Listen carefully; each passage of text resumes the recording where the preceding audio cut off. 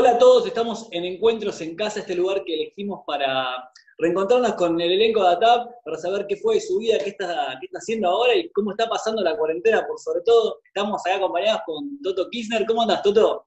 Hola, ¿cómo andás? ¿Todo bien? Todo bien. ¿Cómo te llevó el tema este de la cuarentena? Porque estamos todos medio como que ya no sabemos cuándo, cuándo va a terminar, se hizo eterno al final. Se hizo eterno, estamos todos estáticos. A mí, personalmente, obviamente estoy hablando por mí, yo estoy muy contento, estamos, estoy con Minerva, ella no está en estos momentos acá, eh, justamente se fue a hacer unas compras, pero, pero estoy, estamos juntos, estamos felices, andamos, bueno, yo haciendo mis cursos, mis clases de francés, teniendo psicólogo, ahora sí por Zoom también, este, pintando, eh, pasando el tiempo, llamando a mis seres queridos. Y Che, ¿vos vas a comprar también o se encarga ella o vos no, no querés salir de la calle? No, no, no, no, no, es simplemente, simplemente porque tenía un compromiso el día de hoy y era charlar contigo. Entonces no Ah, salimos juntos, no salimos juntos y, y ella se fue acá a la vuelta a comprar algo. Qué lindo que, que pudieron, bueno, quedarse juntos. ¿Ya estaban viendo juntos antes de la cuarentena ustedes o Estábamos, estábamos, estábamos conviviendo bastante, entonces decidimos que cuando ella volvió, volvió de Europa, terminó su cuarentena y finalmente pudo volver a su casa, yo me vine acá con ella para pasar todo lo que sea de esta Sí, sabés que ya pasó un montón de que terminó atrás, más o menos, ¿viste? O sea, Sí, muchísimo. pasaron pocos meses en realidad, pero pasaron tantas cosas en el medio, como que nos, nos, nos- parece que pasó hace mucho tiempo. Pero Totalmente. Una comunidad muy activa que es de toda la Argentina, básicamente. Nos mandan saludos siempre. Acá tenemos esto sale en, vivo, en Premier por, por YouTube. Y hay un chat comunicativo donde nos mandan saludos de todas las provincias, de Córdoba, Entre Ríos, Mendoza. ¿Vos tenés algún lugar de la Argentina que, que te guste mucho, que, que tengas alguna historia para contar? A ver, que tenga alguna historia para contar. Eh, de hecho, la última, bueno, mi última vez donde, donde fui con mi abuela antes de que, de que, de que fallezca, este, fuimos a Mendoza y la pasamos increíble. Fue un viaje muy hermoso con, con mi abuela y con, con mi mamá. Estuvimos en Mendoza, estuvimos recorriendo, comiendo y disfrutando un buen momento. Así que eso es lo primero que se me viene a la mente fue, fue un gran viaje no solo porque mi abuela también se tenía que operar de la vista en aquel momento, sino porque fue la primera vez que viajaba con mi abuela y con mi mamá. Era un viaje muy particular porque éramos los tres solos, si bien el motivo fue para que ella se pueda hacer una operación este, de cataratas en su momento, este, mm, fue, fue un viaje muy, muy precioso y fue en Mendoza, justamente. Así que si me preguntás, en Mendoza. E- ¿Eso puede ser lo que más extrañes de, de la etapa de antes, de cuando podíamos salir, viajar? ¿O qué es lo que más extrañas ahora en la cuarentena? A ver, lo que más extraño, sí, es, en realidad es la, mm, es la cotidianidad de ir a trabajar, de ver, de ver amigos cuando uno, uno le, le plazca, de poder salir a caminar, salir a correr, viajar si tenés la posibilidad de ir a viajar, si te da el tiempo, si te da el trabajo por ir a viajar. En realidad es esa libertad que, que hoy por hoy ya no, no la tenemos temporalmente, por- porque el contexto obviamente lo, lo- lo impide, que no es lo mismo que por voluntad propia decir me quedo en mi casa, sino que es literalmente te imponen que te quedes por una, una cuestión obviamente del, del- del- del virus, del coronavirus. Así que mm, eso es lo que algunas veces le agarra un poco, un poco de angustia, de acordarse de, de, de que a principio de año, a principio de año ya era un contexto completamente diferente a lo que es hoy en día. Eso es increíble. Y Claro. pasó muy poco tiempo. ¿En qué, en qué momento podés escapar de, de esta realidad que vivimos y buscar algo de tranquilidad o, o recordar? Por ejemplo, decís que pintás, ¿estás pintando? Estoy ¿Haces pintando. pinturas de verdad? O sea, Hago, hago pintura, no, obviamente, no, no, no, no es que agarro, no es que estoy pintando cuadros, ni, ni mucho menos, no, no estoy en lienzo y lienzo, pero, pero así como era, quizás era algo que no lo, no lo tenía tan presente antes en mi vida y ahora que, que estamos todos más estáticos, tengo tiempo para, para hacer esas cosas y ando, sí, con un, con un cuaderno y ando pintando, pintando y la paso bárbaro. Me como que encanta. se despertaron nuevas facetas artísticas, puede ser, en, en vos. Puede ser, ¿por qué no? Puede ser, ¿por qué no? Es algo muy personal también, ¿viste? No es que yo ahora voy a salir a todo el mundo y voy a decir, bueno, ahora soy pintor y voy a exponer mis cuadros. no, No. Sino que es algo muy personal, pero muy, muy, muy copado, muy, muy bueno. Muy bueno que lo vos, super desde, desde muy chico estás rodeado de artistas, así que es como natural, ¿no? Que te llama un poco la atención coquetear con cada cosa. Claro, bueno, de hecho mi hermana mayor pinta hace mucho, mucho tiempo. Este, eh, mi, vieja también tiene, tiene algunas cosas que ella pintó en alguna etapa de su vida que necesitaba pintar, lo cual por eso lo recomiendo para el que necesite. Es un, es un gran método terapéutico además de artístico. Es lo bueno que esas dos cosas conviven. Este, lo que sea, poder expresarse mediante la pintura, bueno, canto, lo que sea, está, está buenísimo, así que lo, lo súper recomiendo. ¿Qué, ¿Qué, es lo que pintas, por ejemplo? ¿Pintas eh, retratos? ¿Pintas, eh, no sé, cosas que ves por ahí? No, bueno, pinto más, más que nada lo, lo, lo, que siento, que me sienta pintar. A veces puede ser algo más surrealista, podría ser algo más surrealista, como podría ser algo más cotidiano. Este, básicamente lo que Minerva tiene unas pinturas chinas muy espectaculares y ayer estábamos haciendo unas cosas con pintura china que quedaba alucinante. Le da, le da, le da un lindo efecto, está muy bueno. Pero, pero bueno, es, es así, ando como haciendo muchas cosas, estudiando francés también, estudiando un nuevo idioma, lo cual eso me, entusiasma mucho porque... ¿Cómo andas? ¿Decís oui o te sabes defender un poquito mejor? Eh, a ver, es como que...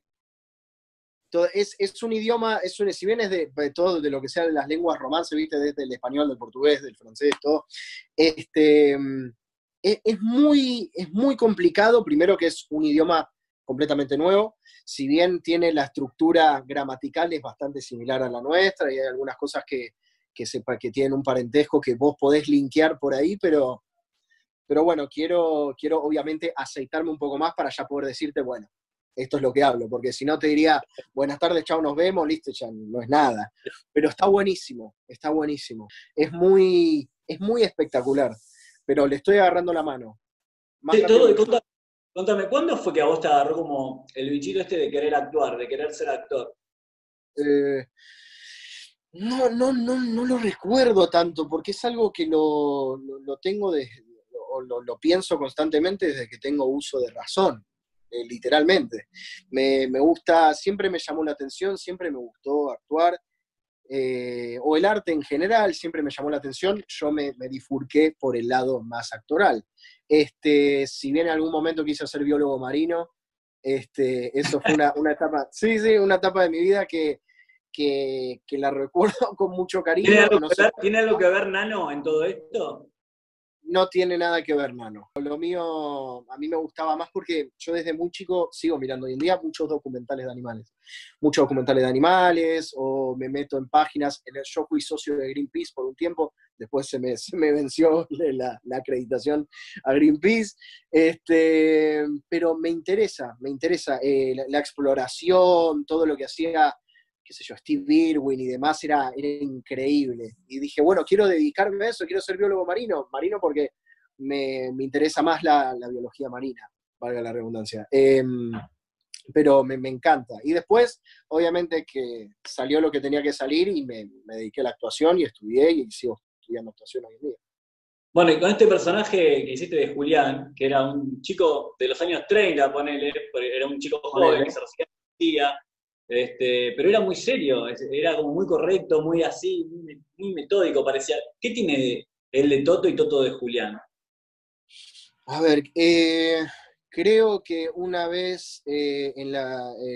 no, no quiero ponerme en el papel de serio y empezar a citar libros, pero justo se me vino la, la, pregunta a, esto, que Jack Nicholson en, en, su libro biográfico dice que todos los personajes que uno compone tienen que tener algo de uno para poder volver a la realidad y poder irse y volver a la realidad de irse. Entonces, es como que, obviamente que Julián tiene cosas de todo, obviamente quizás mi lado más serio o mi lado cuando estoy más o enojado o serio o más concentrado o más decisivo a tirar o decir alguna decisión o tomar alguna decisión por mi cuenta o algo, quizás tiene esa, esa frialdad y esa, esa cosa medio de Julián, pero, pero también me considero un tipo eh, bastante, con, con el corazón bastante humano, como lo tiene él, con sus contradicciones y demás, pero, pero sí, creo que tiene algunas cosas. Bueno, ¿qué te parece si ahora vamos a revivir un momento de, Julián, a donde está justamente con Maite, que hacía de Carmen, eh, Maite la Nata, a donde, bueno, ella le plantea sobre todo este drama que él tenía con su madre, ¿no? Que también como compartían ellos dos ese mismo drama de los padres que trabajaban eh, en el burdel, bueno, trauma que era terrible, pero bueno, que tu madre también tenía lo suyo, pero al mismo tiempo era tu madre y te cuidaba. Así que bueno, vamos a ver ese momento, ¿sí? Vamos. Ahora que llegamos hasta aquí a través de tanta historia. ¿Te ofendió lo que dije? Me pone triste que seas tan terminante con tu mamá. Que pienses que se escapó con trauma. Pero fue la mano derecha 20 años y se casó con él. ¿Cómo no voy a pensar eso? No la conoces del todo, Ivonne. Si digo que hablaste 10 veces con ella es mucho. Y de esas 10 veces siempre le reprochaste cosas. De las cuales en muchas tenés razón, no digo que no. Pero en otras no. Carmen, Ivonne lo único que hizo estos últimos dos años fue dañarme a mí. Y dañar a las chicas y traicionar a Raquel. No, a Raquel la salvó de Salaberry. De ese amigo en el que vos confiabas ciegamente. Le trajo documentos, plata. Le armó todo un plan para escaparse porque si no la mataba a palos. ¿Qué me estás reprochando que no me di cuenta antes que era un monstruo? No, Julián, no te estoy reprochando Nadie se dio cuenta de eso. No te estoy reprochando nada. Solo me parece que juzgás a las personas antes de conocerlas. Gibón también es esa persona que ayudó a Julia a escaparse para que no la mataran. Y que también es esa persona que nos ayudó todos estos meses contra Trauman. Y vos lo sabés. Y ahora es esa mujer que se está muriendo. ¿Vos querés que me conmueva? No me voy a conmover, Carmen. Julián, no quiero que te conmuevas. Quiero que te des cuenta que las mujeres vivimos la vida que nos tocó, no la que elegimos. Y que tu mamá pudo salvarte. Y habrá lastimado a muchas chicas. Pero mi mamá también se lastimó a ella. Y me lastimó a mí sin querer. Y la pude perdonar. ¿Sabes por qué? Porque ellas no eligieron la vida que les tocó. Y tu mamá cuando tuvo la suerte de poder elegir, te salvó a vos. Y nos intentó salvar a nosotras. Yo agradezco tanto haberla conocido. Me ayudó tanto. No te pierdas la oportunidad de abrazarla, de mirarla a los ojos y decirle cuánto la querés. Ahora que llegamos hasta aquí a través de tanta historia. ¿Cómo te ves con ese Julián tan, con esas contradicciones, ¿no? De querer a una madre y no quererla. ¿Cómo te sentiste en ese papel? Creo que, que también en, en- en algún, en algún momento lo puedo entender a, a Julián. Obviamente que él está, es una persona que está muy conflictuada, que tiene, como todos, quiere, uno quiere ser lo mejor que se puede ser. Entonces él al principio no, no comprende tanto la, la valoración que le tendría que tener a su madre por los sacrificios que ha hecho en su vida, en la vida que le tocó a, la, a, a- a Madame Yvonne, una, una vida muy, muy sufrida, muy terrible, donde tuvo que despegarse de su hijo, pero de seguirlo de alguna forma. Este, y él eso no lo puede comprender porque está muy dolido por, por lo que a él le tocó en la vida. Pero, pero al fin y al cabo, por suerte, terminó perdonándola. Claro, vemos la- recordemos la escena donde se dicen que, que le decís que, que la amas, a la que o sea, está muriéndose. Eso- ¿Te acordás de esa escena? También fue muy dramática, muy tensa. De O sea- hecho, eh, me, acuerdo que estuvimos esperando esa escena mucho tiempo con, eh, con mi madre, con mi madre ficticia. Este, estábamos, estábamos muy nerviosos porque era algo muy que, que- que lo veníamos esperando hace mucho tiempo. Este, y cuando llegó el momento de, bueno, vamos a hacer esta escena, fue como, uff, bueno, ahora ahí viene, ahí viene, ahí viene, y ahí viene, y salió en una toma. ¿En una toma? Salió en una toma. Toda, toda esa secuencia salió en una toma. Mismo la muerte, todo salió en una toma. Fue un día, un día muy movido. Eh, entonces, no, por suerte, ambos estuvimos muy conectados y salió precioso. Salió precioso. Tuviste el privilegio de estar con grandes figuras, de, de- de- con actores y actrices muy grandes de- del país. ¿Cómo, ¿Cómo te sentiste con eso? Obviamente Como que uno como, sí, sí, uno como, como, porque me puedo considerar joven hoy en día, este, siendo, siendo, siendo tan joven y teniendo la posibilidad de, de que me ha tocado también compartir escenario en lo que nos une, en, esa, en ese drama, con Germán Palacios, este, con Solita Silveira, con Gabriela Toscano, con Maida. eh, la verdad que siendo muy chico y también en, en ATAB, estando con Fernán Mirás, Virginia Innocenti, este, es como que son actores que ya tienen su, corrido, su recorrido, perdón, y, y uno tiene que nutrirse y succionar de la mejor forma todos los aprendizajes que, que, que- que involuntariamente ellos te brindan, ¿viste? Porque es algo que básicamente están haciendo su trabajo y que uno simplemente lo ve y, y agarra cosas que le gusta, otra cosa que le llama la atención y charla. Entonces, para, para mí es como que, y aparte en, este, en esta profesión, en este oficio, es como que la experiencia también es un, un gran elemento de aprendizaje. La experiencia, además del estudio. ¿Qué puedes decir que te, que te quedaste, por ejemplo, de, de Fernán o de Andrea? ¿Qué, cos- ¿Qué cosas pudiste absorber? ¿Tenés así como algo concreto o el todo, por ejemplo? Sí, sí, es que hay, hay eh, de, de Andrea, de Fernán, de Virginia, hay como, hay muchas cosas que uno puede sacar porque obviamente son se- seres humanos individuales y cada uno tiene su- sus distintos métodos actorales. Este, pero también lo que sí te puedo decir que me, que me brindaron en realidad a todos los, los jóvenes, hablo en voz de todos, porque a ser joven, viste, uno sí o sí es como que le llama más la atención. Tener esa, esa tranquilidad actoral, que uno también actuaba muy tranquilo cuando tenés a una persona enfrente, a un actor enfrente que ya tiene carrera y que le falta mucho más, pero que ya tiene mucho más que vos por una cuestión lógica, este, poder nutrirte de esa tranquilidad y de dejar fluir la escena. Este, entonces, eso creo que es lo, lo que llama mucho la atención cuando laburás con actores y actrices de, de tantos años de, de trayectoria. Regular la ansiedad por ahí, algo de eso. Claro, regular la ansiedad, quizás cuando, cuando sos joven y estás laburando con otro chico que también es igual de joven que vos y tiene igual de entusiasmo, igual de todo, es como que le pasan otras cosas que tener una persona enfrente que ya hizo su recorrido y que ya pasó por todos esos estados y que a veces puede tener esos estados de nuevo, pero los maneja de otra forma por el simple hecho de, de la- de- de su edad y lo- del oficio que lleva tantos años haciéndolo. ¿Qué es lo que más extrañas de las grabaciones? Grabar, grabar, Grabar. traje, grabar, grabar. ¿Te gustaba trabajar, traje? Trabajar, usar traje. ¿Qué más extraño en las grabaciones? El, el grupo humano.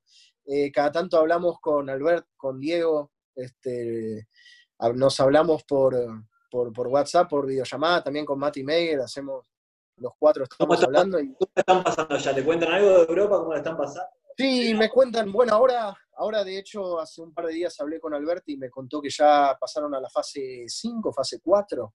Eh, ¿Qué fase era? Bueno, una fase aparte que todavía nosotros no tuvimos el privilegio de llegar y que ellos sí llegaron y tienen, ya pueden salir a la calle, eh, con más libertades y demás. Es como que ya es un antes y un después, me contaba Albert, de, lo que era antes España y lo que es hoy, cómo se está transformando hoy.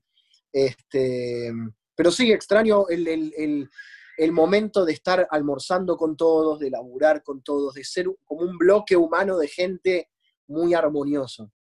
Eso se ¿Qué- extraña. man. ¿Qué es lo, pri- lo primero que harías cuando se termina la cuarentena? ¿Qué es lo primero que haría? Y me voy a, a lo básico, pero sería ver a, ver a mis amigos, ver a mis amigos, pasar tiempo con ellos, salir a caminar, irme a algún lado, con el auto, no importa, me voy a, a cualquier lado, con el auto, con, con total libertad y seguridad de que no está mal lo que estoy haciendo. Claro, de, de que obviamente de que no estás siendo un, un irrespetuoso y un, y un la ley, básicamente. Básicamente, básicamente, por eso, por eso tener esa libertad nuevamente cuando termine todo esto. Che, ¿y estás con las clases por Zoom? ¿Estás con clases por Zoom? ¿Me contaste? Estoy en clase por Zoom, así como estamos haciendo ahora, pero ¿Qué, con una profesora. cómo, cómo te sentís? ¿A una hora específica o...? Sí, cualquier lo, momento? lo- sí, lo pactamos en un horario específico, dura una hora, puede durar un poco más, dependiendo cómo vaya flu- fluyendo todo. Este, Minerva en un momento estudió francés, entonces por suerte tengo el, libro de actividades, está acá, entonces yo uso el, mismo libro de actividades, o en, e- en mismo en Zoom me- me- como que pone la imagen del libro sobreimpresa en esta, en, en la imagen donde se ve la profesora, y es bueno, ¿qué puedes ver acá? ¿Qué puedes hacer acá? Esto con lo otro. Es amoldarse a la- al estudio como se puede, entrar a internet en el momento mientras estamos con Zoom, mirar un libro, mirar un video. ¿Te metes en el cuarto? ¿Vas a un lugar específico o lo haces ahí? Lo hago acá, lo hago acá en el living. ¿No, no influye en la convivencia habitual eso, por ejemplo?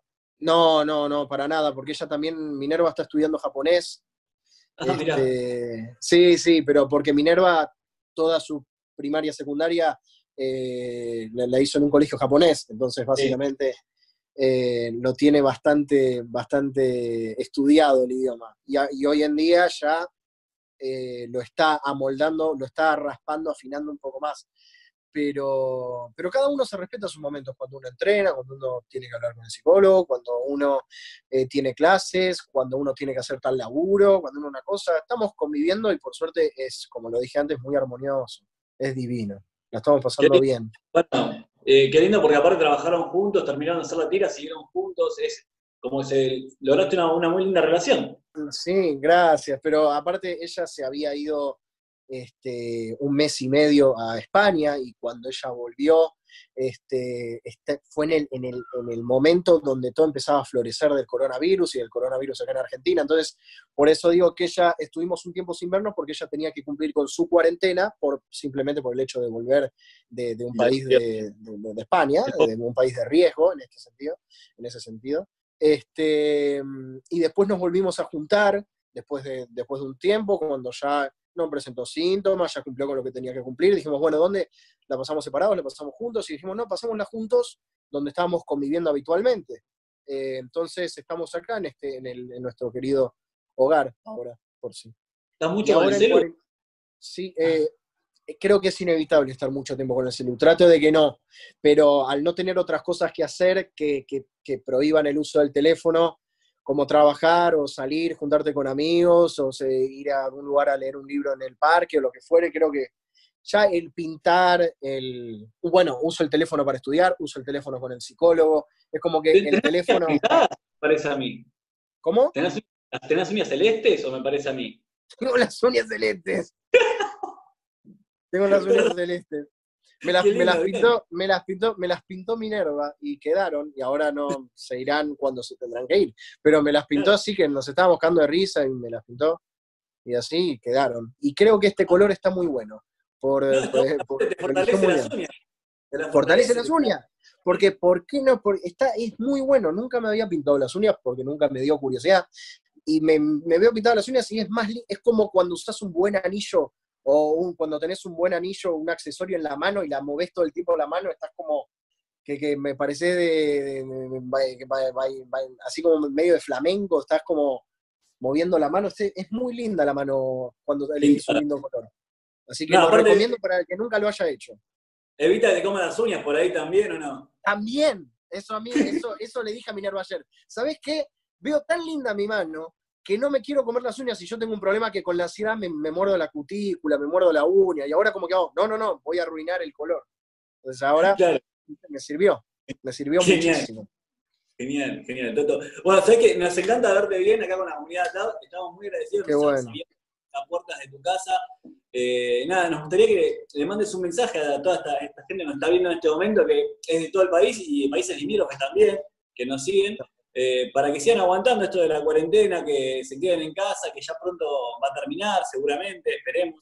Lo que, le, lo que le puedo decir desde mi humilde lugar a todos los países limítrofes, mismo nuestro querido país que está mirando, este, que sí, que, que traten de, de buscar su lugar de, de paz y tranquilidad desde, desde la comodidad de sus casas, lo que puedan, para colaborar entre todos y que esto ya, ya eventualmente, yo presiento que falta muy poco para que termine. Bueno, Toto, muchísimas gracias y nos estamos viendo, ¿eh? Un gusto. Sí, obvio, cuando quieran. Un beso. Un beso. Chao. Chao, nos vemos.